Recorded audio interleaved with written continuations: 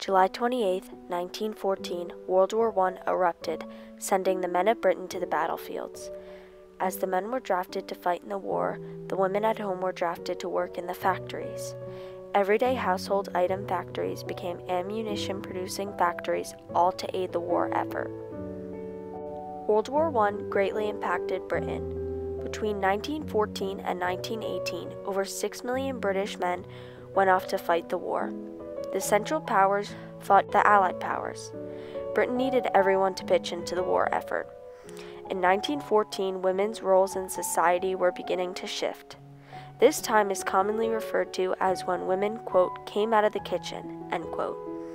Women began replacing men by working in factories as mutineer workers.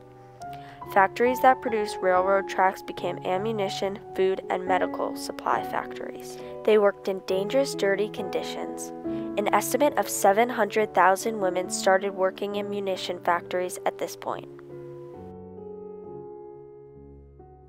The daily routine for women had consisted of waking up, going to work in the factories, coming home, and continuing daily chores. Often after work, women would kick around to football, sometimes even organized small games. Organizing small games spiraled into matches against the young apprentices working at their factories. At Dick Kerr & Co., the women football players were especially talented. Their first organized match was on Christmas Day 1917. The Dick Kerr Lady footballers took on Coulthard's Foundry, playing in front of a crowd of 10,000 spectators. The Dick Kerr & Co. Lady footballers beat Coulthard's Foundry 2 to nothing. They took on the name the Dick Kerr Ladies and began their journey to becoming the best women's football team in the world for their time. Dick Kerr & Co., founded by W.B. Dick and John Kerr, two Scottish men, was the leading firm for the traction industry, responsible for electrifying the railway from Liverpool to Southport in 1904. When World War I broke out, they turned their focus to manufacturing ammunition for the war. When the war first started, some male football players stayed home to continue playing the sport they loved, but were often criticized and viewed as cowards for not going to fight for their country. For any man capable of playing football was capable of fighting in a war. When some men's football players did go to the war, many well known idolized players died. This war led to the triumph of women's football in Britain. At the beginning of the war, football from women's standpoint was solely looked at as a big health benefit and good for their well being. This sport helped serve as a distraction to women who now, instead of focusing on this deadly war, could have something to enjoy and look forward to. Between the 1914 to 1918 time period, there was a dramatic rise to the amount of women's football teams in Britain. Women factory workers organized football teams all across Britain. During their free time at work, they would kick around a football with their friends. At that time, these women had no idea where this game would lead them. The Dick Kerr ladies, led by their manager Alfred Frankland, gathered a national fan base almost instantly. Many people began to line up to watch their games. Their manager also worked in the Dick Kerr & Co. as a draughtsman in the number 6 department.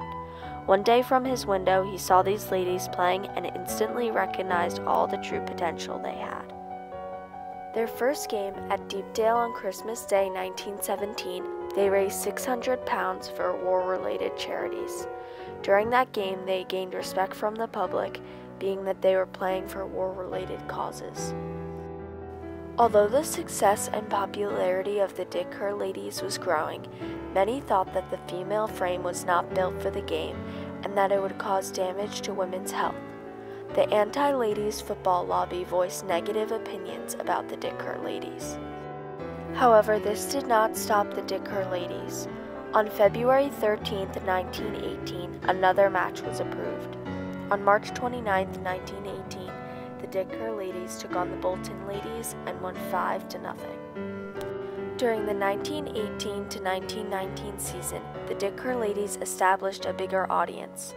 October 9, 1918, the team had their first defeat.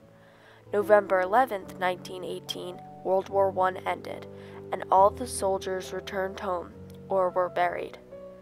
Because of this, women also returned home, no longer working in the factories. Attitudes about women taking over the men's game began to shift, for the men were very angry that women's football was more popular than men's. On November 15, 1918, the Lancaster Daily Post reported that women were, quote, not suitable candidates for the position of a referee, end quote. In other words, women were not allowed to be the referee of a football match because they claimed they couldn't keep up with the pace of the game. This embarked the beginning of social injustice towards the women athletes. Despite differences, the Dick Kerr ladies team continued to persevere. In 1919, they signed Alice Woods to the team.